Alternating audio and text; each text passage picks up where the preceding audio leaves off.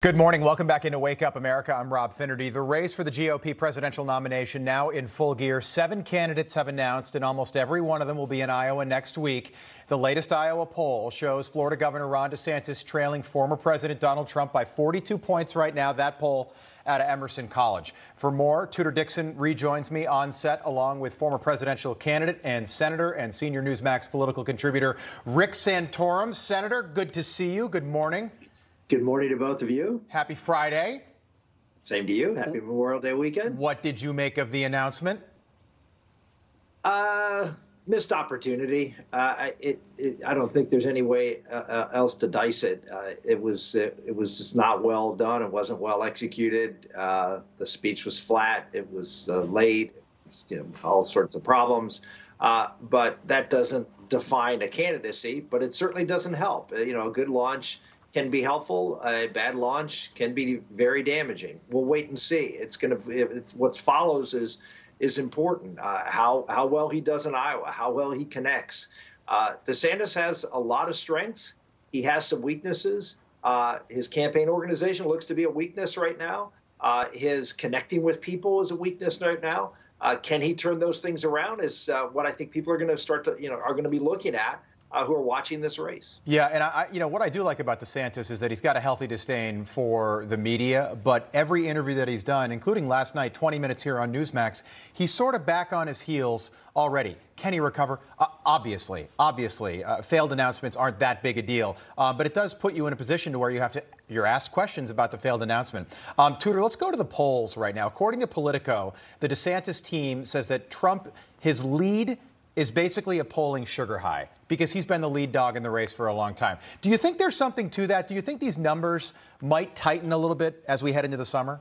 Well, I mean, as we look at polling, we have questioned polling for years, right? Since 2016, people started to say, are these polls actually accurate? Now, I would say that there is cause for concern from the DeSantis camp when you see that big of a gap. But it is early. I mean, he he really wasn't in the race officially until a couple days ago. Now, we all knew he really was in the race. So because there was that knowledge that people were pushing him into the race, it's questionable as to whether or not he can make up that ground. But as we've said, there's a lot of time. We have to see him interact with people. We have to see his personality come out. And really, it's going to be he and Casey out on the trail need to connect with people. And that's what people are looking for that they haven't seen from Ron DeSantis. Let me play you this soundbite. This is DeSantis was asked last night by Eric Bolling how what role his wife basically will play in the campaign. Take a listen.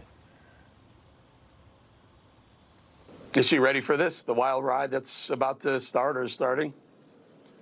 She is. I think it makes her stronger because I think, you know, you have a chance to look, okay, you're either going to let the bastards grind you down or you're not. And we've just had too many things um, in this country. People have sacrificed over the years in military service, have given their lives so that we could have a free society. If we're going to cower in the face of newspapers and blogs attacking us, then man, we're not really doing very much to, to keep this country going. So uh, it's our obligation to be out there.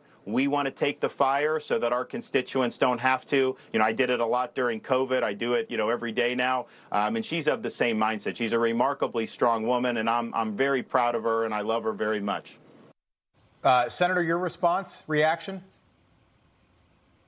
it, it, seems like from from just listening to a lot of the responses from DeSantis, he has he has one track, which is a you know a tough, confrontational, uh, go after the media, you know, and us versus them, and it's it's very similar to Donald Trump. I mean, that's the way Trump would have, uh, in very very much the same style Trump would have answered that question.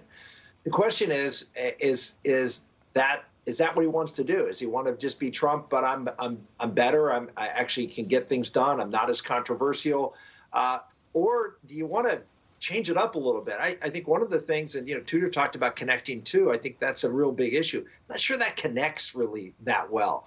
I, uh, I would really strongly recommend some humor, some self-deprecating humor in particular. Yeah. Look, if you've got a weakness, if you got a problem connecting with people, make fun of it you know, just say, you know, hey, you know, I'm I'm not a perfect guy. I mean, instead of sort of, you know, just sort of being combative and trying to say, you know, well, these are bad guys and I'm a good guy and I'm and I'm fighting and, and against bad guys.